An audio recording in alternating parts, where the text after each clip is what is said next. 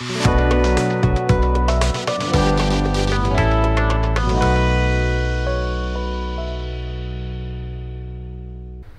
ఎప్పుడు కూడా దేవుడిని ఎప్పుడు కూడా అపార్థం చేసుకోవద్దు.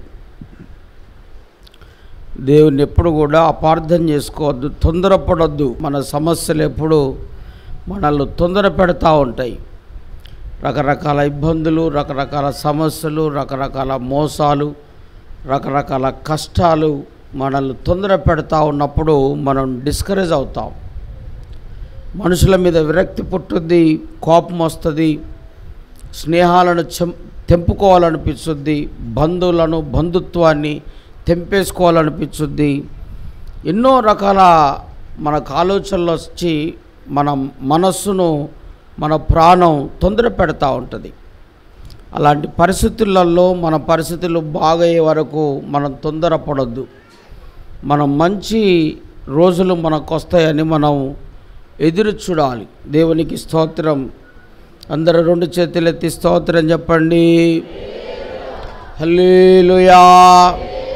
ఏది జరిగినా మన మంచి కోసమే అన్న సంగతి మనం ఎన్నడూ కూడా మర్చిపోవద్దు.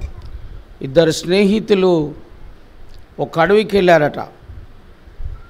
ఇద్దరు స్నేహితులు అడవికి వెళ్తే ఈ అడవి వేటలో వాడు బాణంతో కొడతా ఉన్నప్పుడు ఏదో అనుకోకుండా బొటన వేలు తెగిపోయింది. ఒక స్నేహితుడిని అప్పుడు ఈ స్నేహితుడు అంటున్నాడంట కట్టేసి వాడేమో ఏడుస్తూ ఉన్నాడు ఇక నా వేట అనేది పోయింది కదా. బొటన వేలే లేని ఇంకేం వేట ఆడతాం? బాణం పట్టాలన్నా ఏది పట్టాలన్నా ముందు బొటన వేలు కదా. బొటన ఏం పోయింది. ఎందుకు నా జీవితం అని కురింగిపోతా ఉంటే ఏం పర్లేదు అంతా మంచే అంతా మన మంచికే అంతా మన మంచికే ఇదో మాట నేర్చుకున్నాడు పొద్దాక. అంతా మన మంచికి అంతా మన మంచికే అంటున్నాడంట.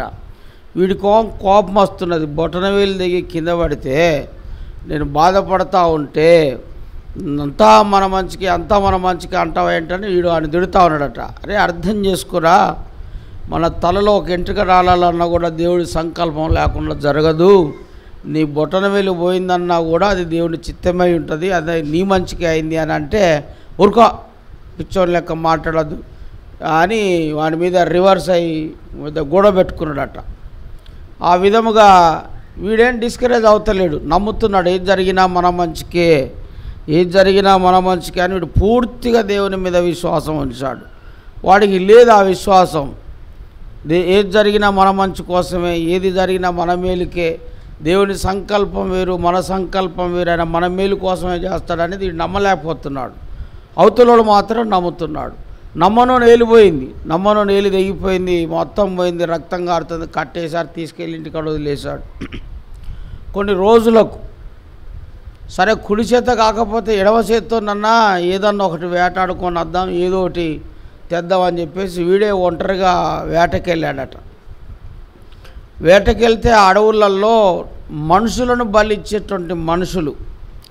మనుషుల్నే నరబలి అంటారు దాన్ని. నరబలి ఇచ్చేటువంటి రాక్షసులు వీడు దొరకగానే వీడిని పట్టుకొని వెళ్ళిపోయారట. వీడు దొరికాడు వీని బలిద్దామని. నరబలి ఇవ్వడానికి వీడు తీసుకెళ్ళి వాళ్ళ ఆ దొరల మధ్యలో కొయ్య దొరల మధ్యలో పెట్టుకొని ఆ నరబలి ఇవ్వడానికి వీడిని ఆపితే వాళ్ళ గురు వాళ్ళ దేవత వాళ్ళ గురువు వచ్చి ఇక వాళ్ళ దేవత ముందు వీరిని మనుషులను బలిస్తారు. ఇప్పటికి కూడా నరబలి ఇచ్చేటువంటి స్థలాలు ఉన్నాయి. మన ఇండియాలో ఉన్నాయి మన ఆంధ్రప్రదేశ్లో కూడా ఉన్నాయి. చిన్నపిల్లలు అడవు సంతలాలు ఎత్తుకుపోయి బలిస్తారు. ఆ విధముగా ఈయన పెద్దోడిని తీసుకొని బలిద్దామని వెళ్ళేసరికి వాళ్ళ గురువు వచ్చాడట. ఇక బలిస్తారు. మొత్తం పూజలు పురస్కారాలు హోమాలు అన్నీ కూడా జరుగుతున్నాయి. వీడికి వీడిని ఇక స్నానం చేపించేసి వీడికి శుభ్రంగా తీసుకొచ్చి వీడి బలియాలన్నప్పుడు వాళ్ళ గురువు వచ్చి అంత చూస్తాడట. వీడిది ఎట్లా?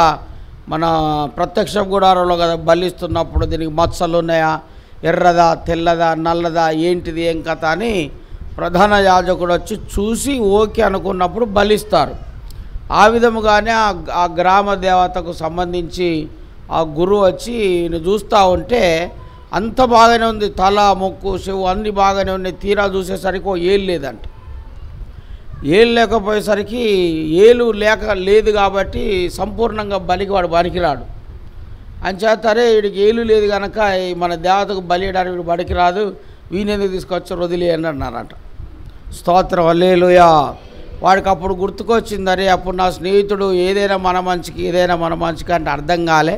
ఆనాడు ఏలు పోవటాన్ని బట్టి నోడు ప్రాణం దక్కింది అనుకున్నాడు ఆనాడు ఆయన ఏలు పోకపోతే ఈనాడు ప్రాణం దక్కేది కాదు. మన జీవితంలో కూడా రకరకాల గుణపాఠాలు దేవుడు మనకు నేర్పుతాడు. నేర్పుతున్న వాటిని చాలా చక్కగా శ్రద్ధగా దేవాని స్తోత్రం దేవానికి స్తోత్రం ఇది నీ మా మా మంచి కోసమే అని కాస్త కొద్ది రోజులు ఓపిక పడితే అన్ని సమస్తం సమకూడి మన మేలుకే జరుగుతాయి. చప్పట్లు కొట్టండి అందరూ కూడా. ఆవేశపడద్దు. నష్టం జరగకుండా జీవితంలో ఎప్పుడు మనం ఉండలేము. నష్టాలు వెనుక నష్టాలు కష్టాలు వెనుక కష్టాలు బాధలు వెనుక బాధలు శ్రమలు వెనుక శ్రమలు శోధనలు వెనుక శోధనలు ఇలాంటివన్నీ మన జీవితంలో జరుగుతూనే ఉంటాయి. మాటి మాటికి రకరకాల సమస్యలు రకరకాల శోధనలు మనకు వస్తూనే ఉంటాయి. నేను ఒకసారి ఇరుసలేంకి వెళ్ళినప్పుడు జాస్వికి అనుకుంటే ఎవరికి వచ్చిన బ్యాగ్ కొనుక్కొచ్చా. ఆ బ్యాగు ఎంత తిప్పి కొడితే నాలుగు డాలర్లు ఎంతో. అది ఇంటికి రాగానే ఊడిపోయింది వేసి రక్తవేజయం నేను అనుకున్న ఎరుసలేమంటే పుణ్యక్ష పుణ్యక్షేత్రం ఎరుసలేమంటే మంచి అంత పొడుగు ఇంత పొడుగు అక్కడ డోకాలు ఉండవు మోసాలు ఉండవు నష్టాలు ఉండవు అని ఇట్లా అనుకున్నా.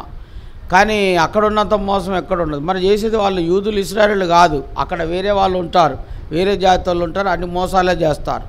మనమేమో ఆ దేశం గురించి తెలియక అపార్థం చేసుకుంటాం. వీటికి వచ్చినాక బ్యాగు బటన్ పోయింది అది పోయింది ఇది పోయింది. మొన్న పోయినప్పుడు ఏది నేను కొనలేదు అవతల వాళ్ళని కొననీయలేదు. ఈడ ఏం కొనద్దు మీరు వేసి రక్తమే. ఎందుకు అని అంటే ఈడ ఏది కరెక్ట్ ఉండదు కొనడానికి వీల్లేదు ద్రాక్ష పండ్లు తప్ప ద్రాక్ష రసం తప్ప ఇలాంటి ఏం కొనద్దు అని చెప్పేసి ఏం కొననీయలేదు. ఆనాడు ఐదు డాలర్లతో పోయింది. లేకపోతే మొన్న మంచి మంచి బ్యాగులు కొనేవాడిని. చిన్నదాంతో పోయిందన్నమాట. ఆ విధముగానే మన లైఫ్లో మరీ అసలు ఏం కాకుండా కాకుండా చిన్నదాంతో మన సమస్యలను దేవుడు చిన్న చిన్న శోధనలతో చిన్న చిన్న శ్రమలతో మనల్ని బయటేస్తాడు. ఈ విధముగా దేవుని తలంపులు వేరు మన తలంపులు వేరు. మనం అనుకునే జరగాలని మొండికేయద్దు. మనం అనుకునే జరగాలని పంతానికి వెళ్ళొద్దు. మనం అనుకునేది జరగాలని మొండికేయొద్దు. కొన్ని దేవుని కొదిలేయాలి. అంతా నీ చిత్తమేయ అంతా నీ చిత్తమేయ దీర్ఘశాంతుడు న్యాయాధిపతిని ఒప్పించును అని ఉంటుంది వాక్యం. దీర్ఘశాంతము న్యాయాధిపతిని ఒప్పించును అని. మనం శాంతంగా ఉన్నప్పుడు శాంతి వహించినప్పుడు దేవాది దేవుణ్ణి కూడా ఒప్పించవచ్చు కనుక సహనము శాంతి అనేది మన లైఫ్లో కలిసి ఉండాలని గుర్తు చేస్తున్నాను. దేవునికి స్తోత్రమల్లేలుయా